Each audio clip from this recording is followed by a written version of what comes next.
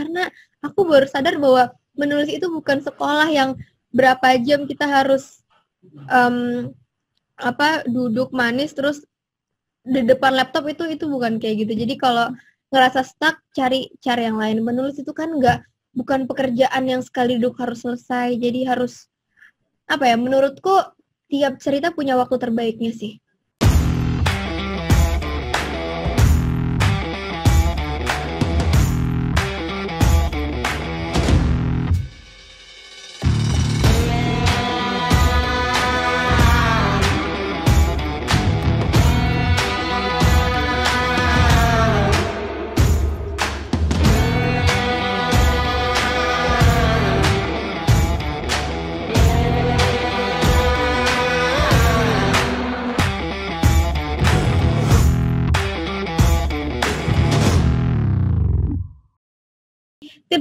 teman-teman yang lagi nonton, khususnya millennials yang mau hmm. mengawali karirnya sebagai penulis?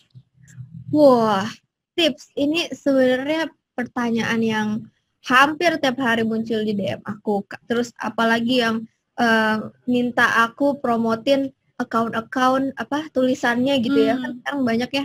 Ya. Terus aku nggak pernah mau itu bahkan sampai ada yang berani kak ini aku bayar berapa aja untuk bisa uh, paid promote di mm-hmm. Instagram kakak gitu. Terus aku bilang sama dia bahwa perkara menulis itu bukan tiba-tiba zret sekali bikin buku uh, bestseller jadi film itu tuh itu proses yang panjang. Itu proses yang panjang. Jadi tips yang pengen aku kasih dan ini penting bahwa lupain dulu jauh-jauh hal yang terlalu mewah tentang tulisan gitu. Jadi kalau memang dasarnya dari hati menulis, diselesaikan tulisannya udah hmm. cukup sampai di situ karena kalau udah punya rasa tanggung jawab sama tulisan sendiri itu hmm. akan muncul mimpi-mimpi lain seperti ah mau coba uh, dipublish deh tulisannya mungkin di Twitter atau di blog gitu atau di uh, Instagram itu muncul karena menurutku ketika seseorang sudah punya tanggung jawab sama tulisan dia sendiri itu perkara bukunya laku atau enggak uh, apa banyak yang baca atau enggak itu it it doesn't matter anymore karena dia tahu bahwa esensi menulis itu adalah menyelesaikan. Jadi kalau teman-teman lagi berusaha menulis atau tiba-tiba stuck karena merasa aduh kayaknya tulisan gue nggak ada yang baca dulu saya juga gitu.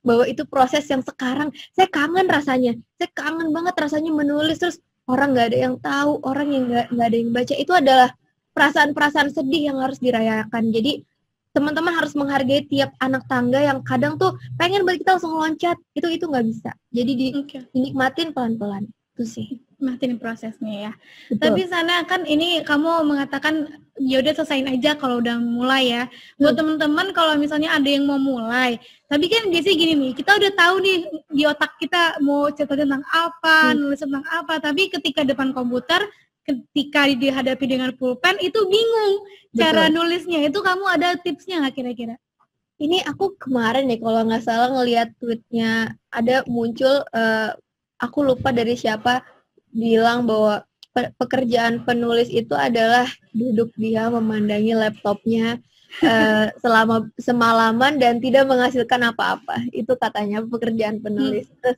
kalau aku sendiri uh, aku juga selalu mencoba itu gitu ya. Misalkan aku misalkan hari ini, oh hari ini seharian mau ngerjain tugas yang lain, nanti malam jam 11 sampai jam 2 pagi aku mau nulis. Itu nggak bisa ada apa-apa. Aku pernah mencoba itu dan itu Microsoft Word itu kosong. Hmm. Jadi setelah setelah merasakan itu, aku aku berhenti mempekerjakan diriku untuk menulis. Okay. Nggak pernah. Aku nggak pernah nyuruh diriku untuk nulis, tapi tapi ketika hatiku bilang wah kayaknya ada yang harus ditulis nih isi kepalaku bilang ini kayaknya di kepala memang harus ada yang disampaikan aku tulis duduk manis tiba-tiba keluar begitu aja jadi okay. jadi kalau teman-teman ngerasa itu stop kerjain yang lain nonton TV kek ke minimarket kek ngajak ngobrol orang atau ngajak ngobrol ibu atau hmm. ngasih makan kucing apa pun itu itu akan membuat kita lebih mudah dalam menulis karena aku baru sadar bahwa menulis itu bukan sekolah yang berapa jam kita harus um, apa duduk manis terus di depan laptop itu itu bukan kayak gitu jadi kalau ngerasa stuck cari cari yang lain menulis itu kan nggak bukan pekerjaan yang sekali duduk harus selesai jadi harus apa ya menurutku tiap cerita punya waktu terbaiknya sih. Wow, tiap cerita punya waktu terbaiknya. Oh. sebenarnya keren. Kalau menurut sana sendiri, uh, bagaimana sih kita nih bisa memberikan dampak melalui tulisan? Nah, dampak melalui tulisan ini sebenarnya aku yang kadang ngerasa uh, aku kan selalu uh, apa sesekali kalau aku punya waktu aku selalu ngecek isi DM aku yang walaupun nggak bisa selalu aku cek uh, hmm. bahkan banyak yang kirim email ke aku bilang terima kasih sudah karena aku sudah menulis gitu.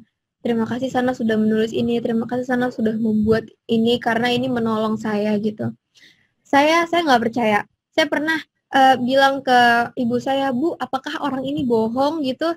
Karena kayaknya kok yang yang saya lakukan adalah hal paling natural dari diri saya gitu. Kayaknya yang saya kira yang yang saya tuh nggak bego-bego banget deh gitu yang saya pas pas mengerjakan tuh saya tahu saya maunya apa dan tujuannya apa makanya ketika kok ada orang yang bisa sebegitu berterima kasihnya sama saya karena sudah menulis tuh saya bingung kayak ini pasti bohong. Sampai akhirnya uh, saya keinget lagi nih waktu SMA ketika akhirnya menulis itu menolong hidup saya. Hmm. ketika saya ngerasa sendirian nggak punya teman stres uh, saya bener-bener saya nggak tahu harus apa gitu. Kayaknya yang yang paling mudah adalah goodbye to the world gitu. Terus akhirnya pada akhirnya menulis uh, men menolong hidup saya. Dari itu saya keinget lagi oh iya ya mungkin hal yang uh, saya kira mungkin nggak penting buat orang lain penting. Oh mungkin oh, hal yang buat saya penting buat orang lain juga bisa nggak penting. Jadi kupikir itu adalah sesuatu yang apa ya bahasa bahasa hati yang nggak akan bisa bohong. Karena ketika saya membuat sesuatu saya tahu uh, tujuan saya menulis itu nggak nggak muluk-muluk nggak hmm. untuk terkenal nggak untuk apa karena saya memang cuma ingin jadi teman.